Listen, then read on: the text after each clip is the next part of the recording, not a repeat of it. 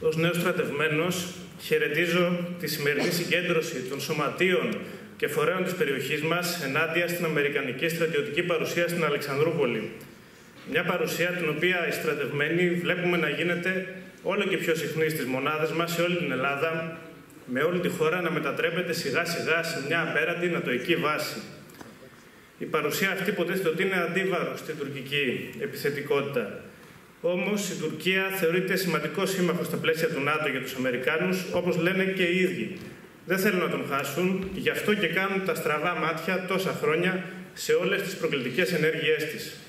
Ο μόνος λόγος που έρχονται εδώ είναι οι ανταγωνισμοί που έχουν με τη Ρωσία και άλλες δυνάμεις.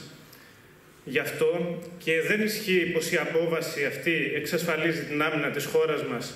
Το αντίθετο, με το να φιλοξενεί αμερικανικά στρατεύματα και να εμπλέκεται περισσότερο σε αυτούς τους ανταγωνισμούς, η Ελλάδα μετατρέπεται σε στόχο των ανταγωνιστών τους.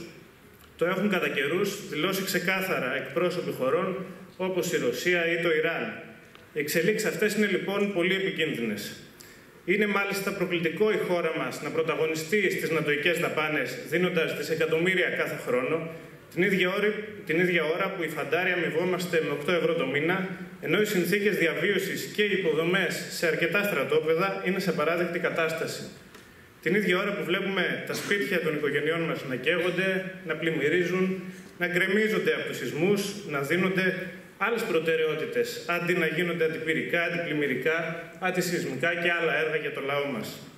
Γι' αυτό και σήμερα είναι σημαντικό να δυναμώσει αυτός ο αγώνας από τους συλλόγους, τα σωματεία και τους υπόλοιπους φορείς, ώστε να απεμπλακεί η χώρα μας από αυτούς τους σχεδιασμούς και τους κινδύνους που φέρνουν για το λαό μας και τους υπόλοιπους λαούς της περιοχής, απαιτώντας να επιστρέψουν οι ελληνικές δυνάμεις από το εξωτερικό, καμιά συμμετοχή στρατιωτών στις επιχειρήσεις του ΝΑΤΟ άμεσα μέτρα για βελτίωση των συνθήκων διαβίωσης στα στρατόπεδα, λεφτά για υγεία και παιδεία, όχι για τον άτομο σφαγεία. Καλή δύναμη σε όλους.